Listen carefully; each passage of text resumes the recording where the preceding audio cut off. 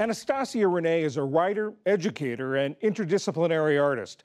In collaboration with New York City's Lincoln Center, she performs pieces from her new book, Side Notes from the Archivist.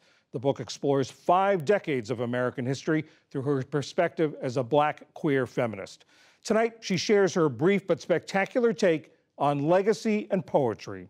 I want audience members to listen to my work and feel something.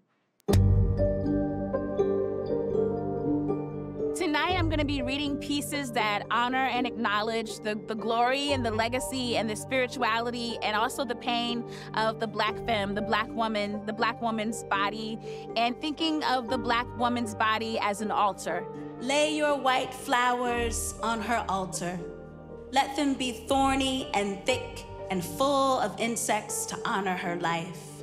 This is my new book that I'm reading pieces from, Side Notes from the Archivists. And the process has been thinking about everything that I've gone through as a person, thinking about legacy, thinking about ancestors, and thinking about future. What does future building look like, even while acknowledging pain or suffering, sorrow, guilt, and joy?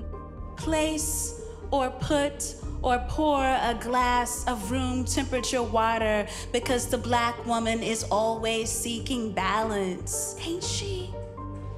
A woman always told she's too hot or too cold and has to be excellent and never in between.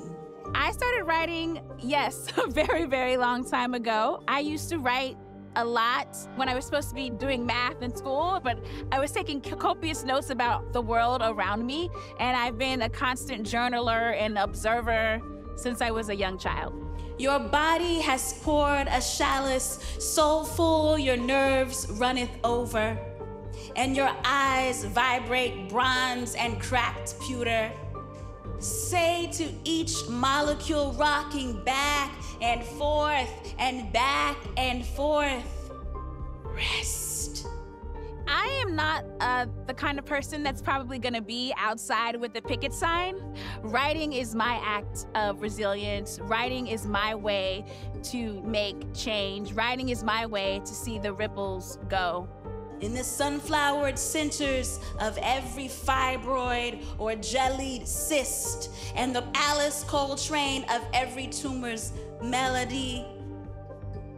Rest here.